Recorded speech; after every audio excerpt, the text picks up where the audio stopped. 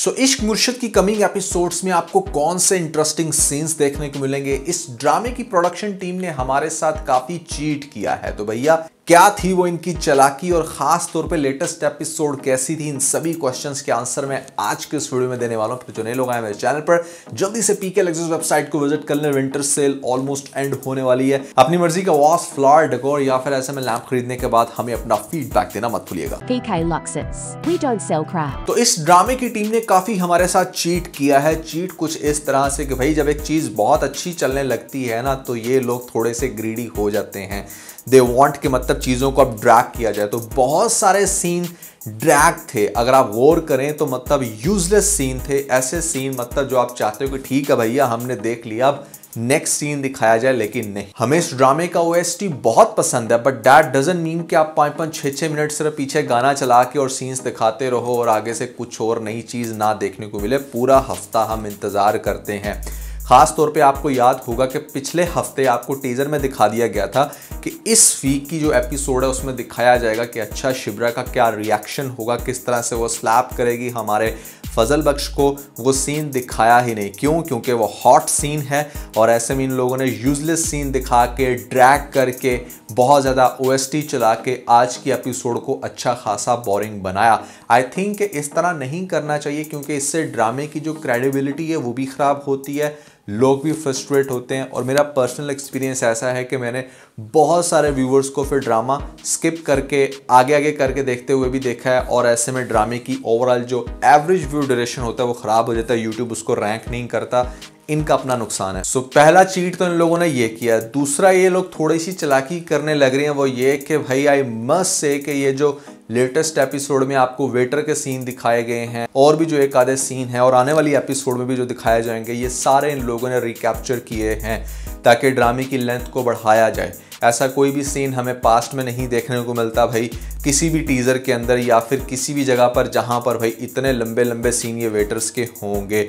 सिर्फ़ इसलिए कि ड्रामे की लेंथ इंक्रीज हो जाएगी और इन लोगों को दो चार एपिसोड्स मजीद दिखाने को मिल जाएँगी। दैट इज़ नॉट कूल क्योंकि हमें शिब्रा और फजल बख्श की केमिस्ट्री अच्छी लग रही है, लेकिन अगर आप उसके अंदर बोरिंग सीन्स ऐड कर दोगे तो वो बिल्कुल भी मज़ा नहीं आएगा। एक्स्ट्रा सीन डाल रहे हैं ड्रामे को ड्रैग कर रहे हैं और ख़ास तौर पर अब ड्रामे के अंदर जब तक कोई इंटरेस्टिंग थ्रिलिंग सीन्स आपको नेक्स्ट एपिसोड में फ़ौरन से नहीं देखने को मिलेगा तो भाई अच्छा खासा सेटबैक होगा। और एक्स्ट्रा सीन नहीं कैप्चर करने चाहिए, जितना ड्रामा शूट हुआ है, उसके अकॉर्डिंगली ही दिखाएँ और ड्रैग नहीं करना चाहिए फजूल में।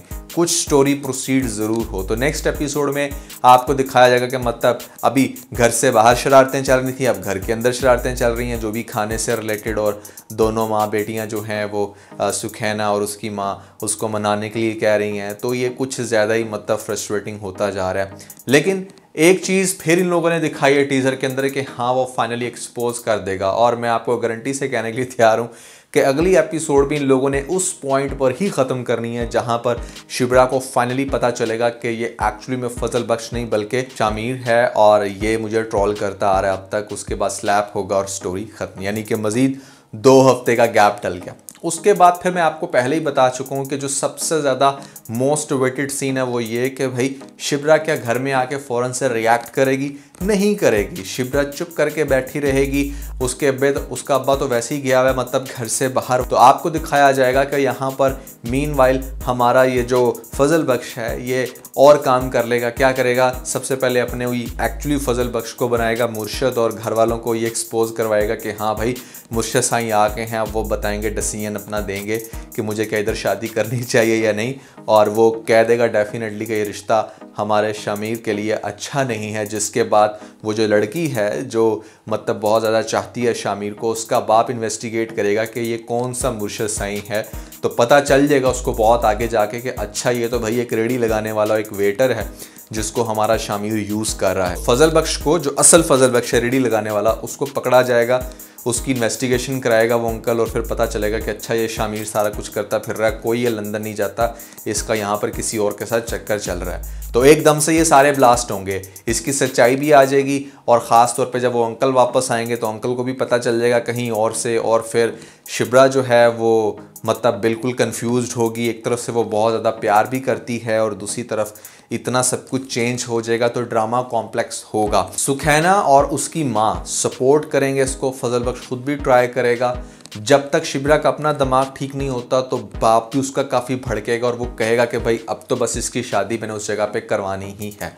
लेकिन मेरा ख्याल से कि शिबरा भी तंग करने के लिए फजल बख्श को काफ़ी हद हाँ तक आगे तो जाएगी कि हाँ ठीक है, मेरा रिश्ता हो रहा है। और फिर आगे से आपको जो सबसे इंटरेस्टिंग सीन दिखाया जा सकता है, जो अब मुझे लग रहा है वो ये कि चूँकि ये रिश्ता भी बहुत अच्छा है, जहाँ से अभी आया है, लड़का बड़ा नेक शरीफ है और ये सिचुएशन भी बन जाएगी तो एन शादी के पॉइंट पर जाकर हो सकता है कि शिबरा अपने दिल की सुने और शादी के लिए इनकार करे। और अपने बाप को समझाए कि आपने मुझे हमेशा यही समझाया कि अपने दिल की सुननी चाहिए और उस इंसान को अपनी ज़िंदगी में लाना चाहती थी, जो हमेशा मेरा ख्याल रखे बिल्कुल आपकी तरह।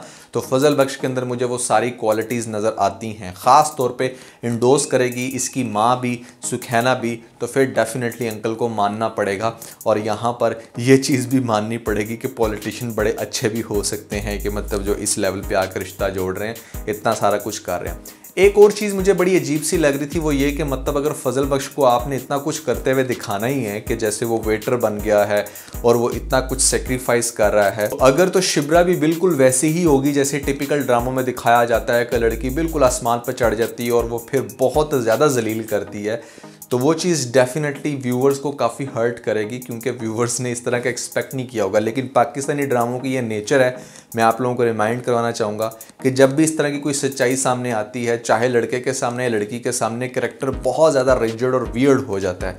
आई डोंट नो कि इस ड्रामे के राइटर ने कैसा लिखा है। आई बिलीव कि अच्छा ही लिखा हो, जैसे बाकी सारा ड्रामा बड़ा यूनिक है तो ये एलिमेंट भी इस ड्रामे के अंदर होना चाहिए। ओवरऑल लेटेस्ट एपिसोड बोरिंग थी। आने वाली एपिसोड भी इरिटेट करेगी, लेकिन उससे आगे आने वाली जो एपिसोड्स हैं, वो बहुत ज़्यादा इंटरेस्टिंग हो सकती हैं, और उनकी स्टोरी के अंदर कुछ इस तरह के सीन्स आपको देखने को मिल सकते हैं। तो अच्छा है, बेहतर है ड्रामा, दो ड्रामे मेरे ख्याल से बेहतर चल रहे हैं आजकल, जिसमें इश्क मुर्शद बहुत अच्छा है। दूसरे नंबर पे जो अच्छा ड्रामा चल रहा है वो खुमार है। खुमार भी आप देख सकते हो। तीसरे नंबर पे अगर मैं आपको रेकमेंड करना चाहूँ तो मैं ड्रामा बहुत अच्छा है।